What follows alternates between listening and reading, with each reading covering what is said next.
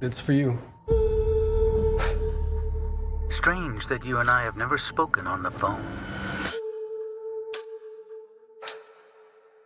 This is long overdue.